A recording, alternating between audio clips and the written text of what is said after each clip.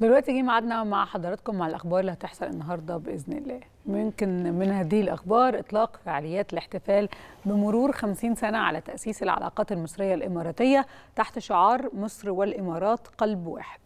وكمان المركز القومي للبحوث هينظم ورشة عمل حول الابتكار من أجل المناخ.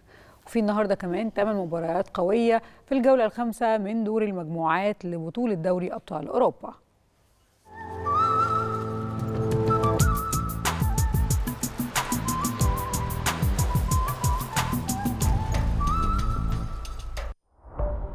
بالنسبة للأخبار المهمة اللي هتحصل النهاردة فدار الإفتاء المصرية أعلنت أن النهاردة أول أيام شهر ربيع الآخر لعام 1444 هجرية. النهاردة هتنطلق فعاليات الاحتفال بمرور 50 سنة على تأسيس العلاقات المصرية الإماراتية في احتفالية كبرى بتعقدها حكومة البلدين تحت شعار مصر والإمارات قلب واحد.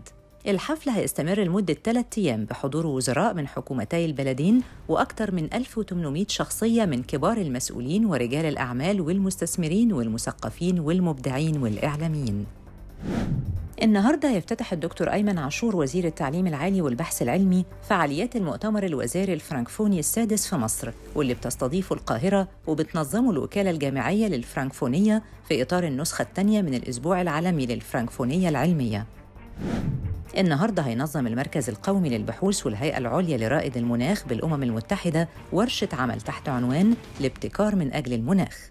الورشة بتستهدف تعزيز دور البحث العلمي ونقل التكنولوجيا والدعوة لأهمية الابتكار في العمل المناخي وتسهيل الترابط بين البحث العلمي والمشاريع التجارية.